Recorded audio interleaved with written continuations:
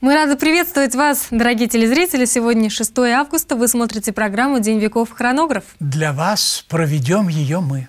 Я, Юрий Смирнов. И я, Светлана Рудская.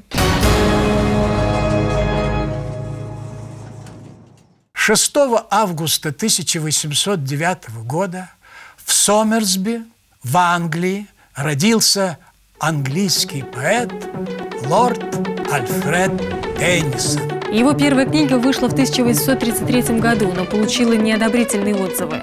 В том же 1833 году в Вене внезапно умер его ближайший друг Артур Хеллем. Альфред замолчал почти на 10 лет, а в 1842 выпустил свой новый сборник поэм, включавший в себя «Леди Шеллот», «Смерть Артура», «Улис», после чего о Теннисоне заговорили как об одаренном писателе. Он написал много, выпускал не только сборники лирических стихотворений и поэм, но также драмы и романы.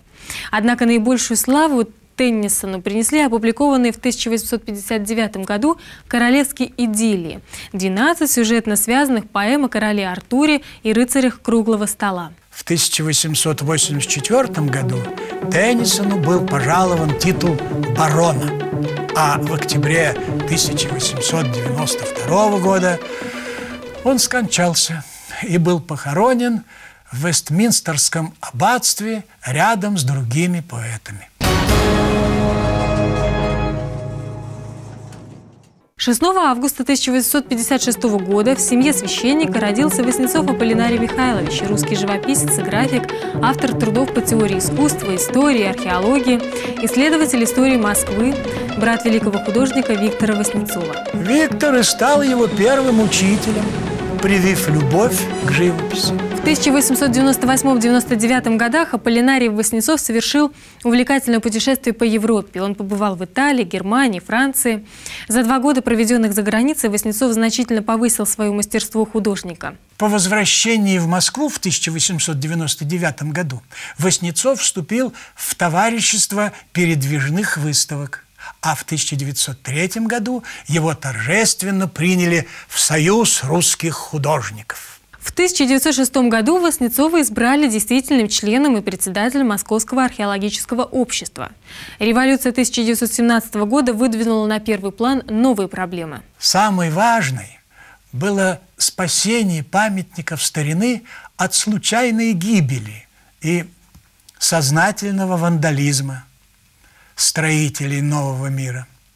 Огромная роль в этом принадлежит обществу «Старая Москва», образовавшемуся еще в 1909 году. Председателем общества с 1917 года до 1929 года был Аполлинарий Васнецов. Помогали ему в этом нелегком труде выдающиеся ученые, краеведы, историки, археологи. Васнецов умел совмещать работу в обществе с творчеством – Именно в эти годы создано много замечательных работ, запечатлевших для потомков удивительные пейзажи, дворики и картины из жизни Москвы тех лет. Глубокие познания и любовь к истории и археологии позволили Вознецову стать основоположником особого жанра в русской живописи – исторического пейзажа. Источником вдохновения ему служила Москва, сердце России. Вы смотрите программу «День веков. Хронограф». 6 августа произошло очень много интересных событий в области культуры. О некоторых из них мы вам сейчас и расскажем.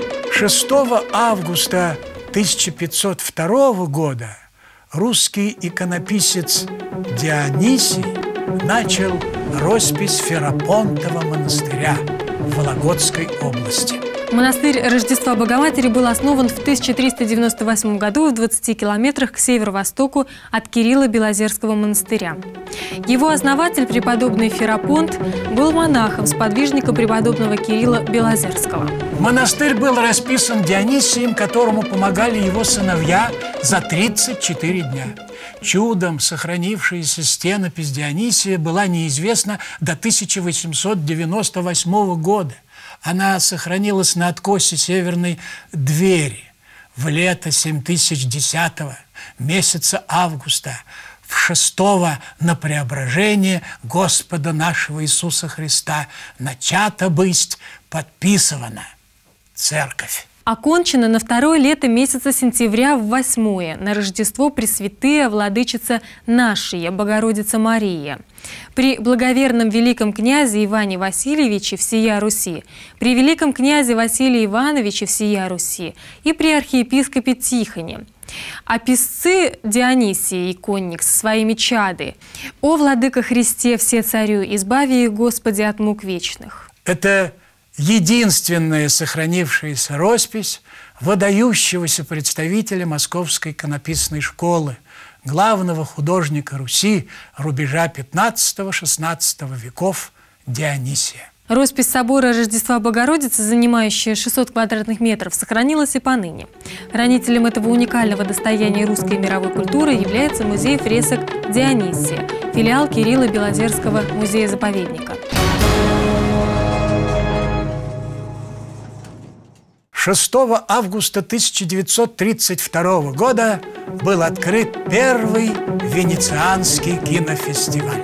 Озабоченный отъездом из страны творческой интеллигенции Бенито Муссолини, ярый поклонник кино, приложил немало усилий для организации кинофорума, который смог бы составить конкуренцию «Оскару».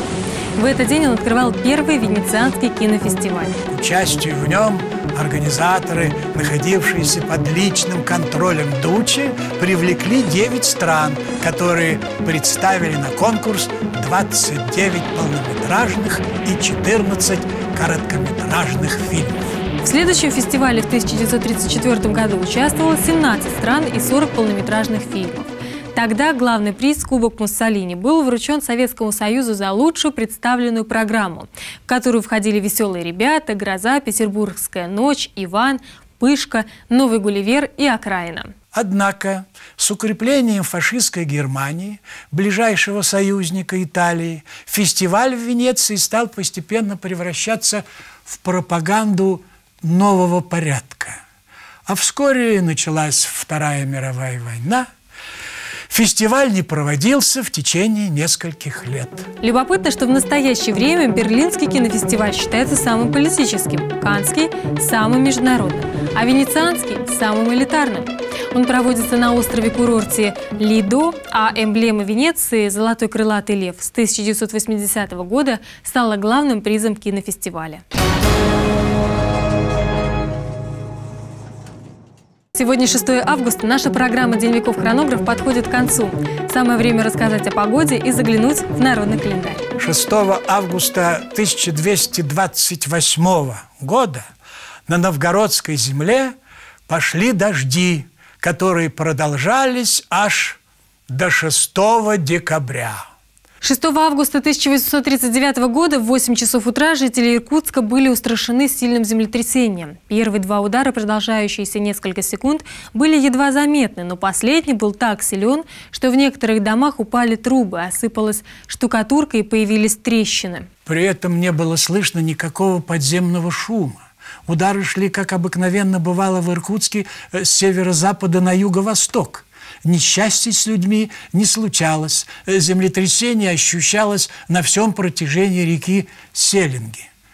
Землетрясение также случалось в районе Баку, Пятигорска и в Саратовской губернии. 6 августа 1920 года в Москве был самый жаркий день августа за всю историю метеонаблюдений. Температура 35,5 градусов. 6 августа 1960 года в Москве была самая холодная августовская ночь за всю историю метеонаблюдений. Температура около 6 градусов. 6 августа 2003 года на Ставрополье прошли очень сильные ливни, до 70 мм за 7 часов.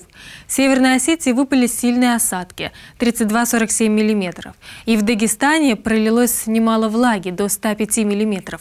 В тот день в результате мощного ливня в Дагестане э, было затоплены десятки домов, размыты дороги, разрушено пять подвесных мостов. В Хасавюртовском районе серьезно пострадал и сам город Хасавюрт. Но, конечно, 6 августа не следует считать каким-то роковым днем августа. Ливни и землетрясения бывают, к сожалению, в другие дни лета. Давайте лучше заглянем в православный календарь.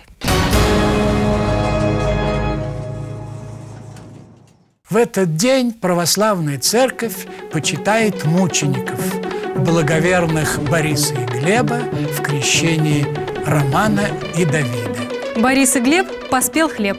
К этому времени обычно хлеба уже полностью поспевали, и начиналась страда. Если на Бориса и Глеба гроза, в поле старались не выезжать, за полевые работы не браться. На Глеба и Бориса за хлеб не берись, зато в этот день принято было начинать сбор ягод черемухи. 6 августа на Бориса и Глеба начинали заготавливать и березовые веники. Так что выходит не только готовь сани летом, но и баню. И еще. Все родившиеся в этот день в доме имеют лад и любовь. Им следует носить турмалин и серпентин. Лада вам и любви, даже если вы родились в другой день. Наша программа «День веков. Хронограф» заканчивается. С вами были ее ведущие. Я Юрий Смирнов. И я, Светлана Рудская. Всего вам самого доброго. До новых встреч.